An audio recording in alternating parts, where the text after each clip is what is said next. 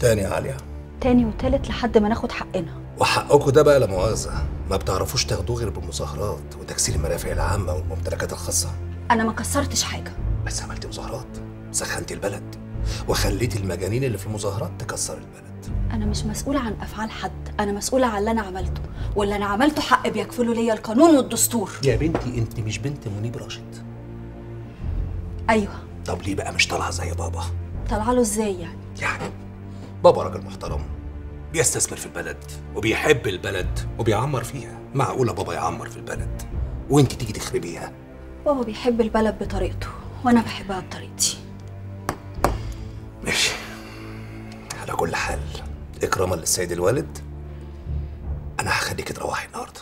لو ليا حق أمشي لو ماليش أتحاسب على اللي أنا عملته زي زي غيري. خليها عليا المرة دي. بس المرة الجاية هحاسبك على القديم والجديد. طبعا أنت فاهمة كلامي كويس. هم؟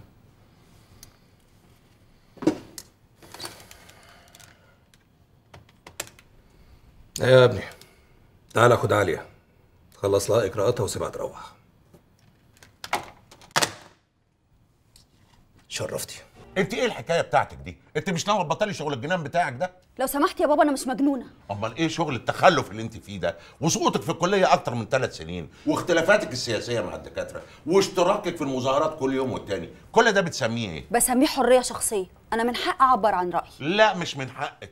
لأن طول ما أنت بنتي وشايلة اسمي لازم تخافي على مصلحتي. هو ده اللي مزعلك؟ مصلحتك؟ مصلحتي هي مصلحتك. وما تنسيش إن أنا ظهري ليكي. ولولا إنهم عارفين إنك بنتي ما كانوش خرجوكي لغاية دلوقتي. من فضلك بقى يا منيب. كفاية لحد كده. كفاية إزاي؟ كفاية إزاي؟ أقول لهم إيه في الحزب بنتك مخليها رقبتي قد السمسمة. أقول لهم إن بنتي اللي من لحمي ودمي بتشتغل ضدي؟